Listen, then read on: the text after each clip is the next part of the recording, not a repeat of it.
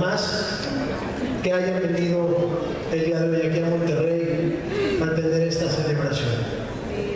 El día de ayer pues fue el Día de las Madres, un día que para todos desde pequeños nos trae muchos recuerdos. Como bien decía Sergio, algunos tenemos la fortuna de tenerlas aquí entre nosotros, otros más ya están allá con Dios nuestro Señor, pero siempre con ese recuerdo, con ese afecto, con ese cariño que una mamá tiene para con sus hijos y que los hijos tienen para con su madre.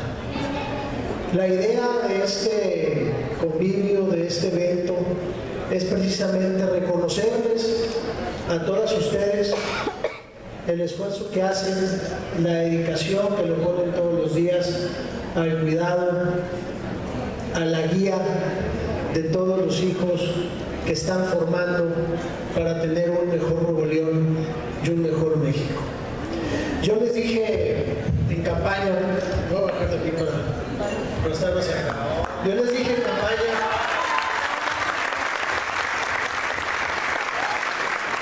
que iba, que íbamos a regresar, que nos íbamos a estar viendo, que íbamos a estar en contacto. Les di mi número celular en muchas ocasiones y me da mucho gusto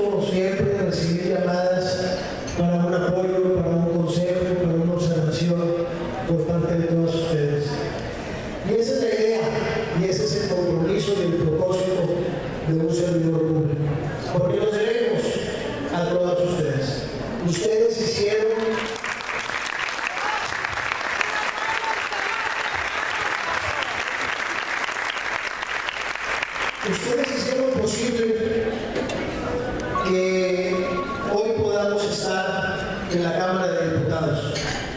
Hicieron posible que Enrique Peña Nieto sea presidente de la República.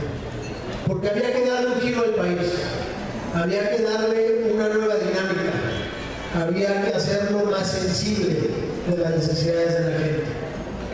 Y con ese compromiso llegó Peña Nieto a la presidencia de la República y si ustedes recordarán, yo les decía que para que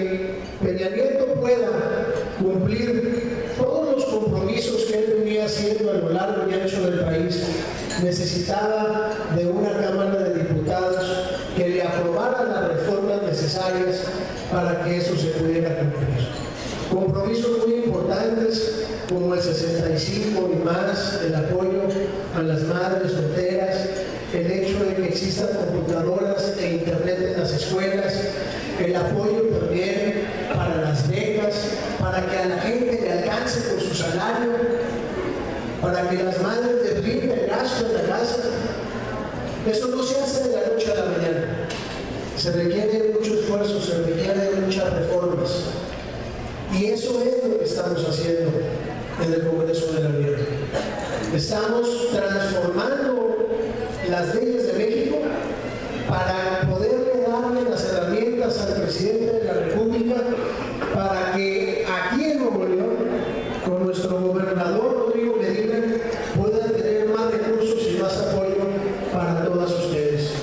Y eso es lo que estamos haciendo.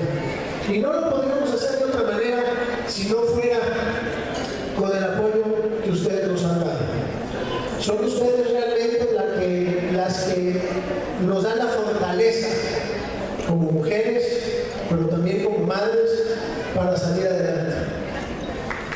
La guía